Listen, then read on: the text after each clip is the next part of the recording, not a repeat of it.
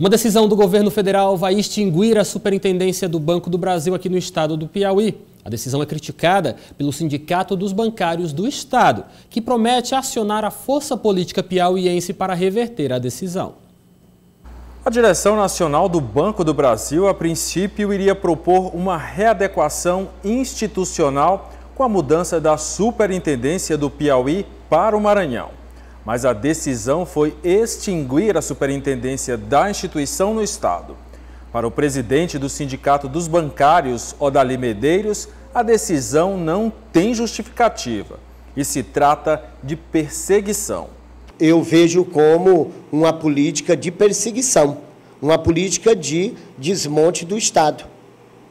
Um Estado que é considerado um dos estados pobres da, da, da, da União, um, um Estado que precisa de grandes investimentos, você vê que o Banco do Brasil, com todo o seu potencial, com tudo aquilo que traz de crescimento, desenvolvimento e de investimento econômico e social nesse Estado, é tirado. Odali Medeiros diz que está buscando apoio com políticos piauienses para tentar barrar a decisão.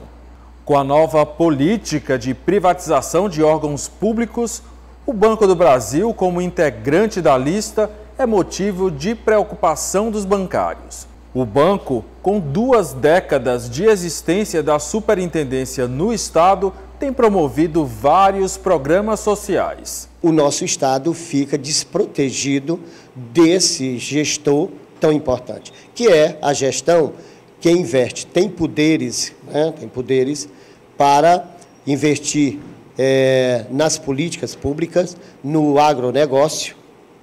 É, isso o Banco do Brasil, em todo o Brasil, e aqui no Piauí, nos últimos anos, nas últimas décadas, a gente tem acompanhado.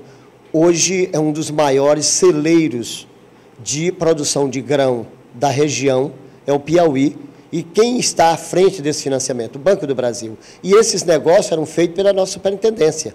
Outro ponto de insatisfação relacionado à nova política envolvendo o Banco do Brasil é a transformação de 634 agências em todo o Brasil em pontos de atendimento. No Piauí, serão seis agências transformadas em PAs, o que, segundo o presidente do Sindicato dos Bancários, trará precariedade nos serviços.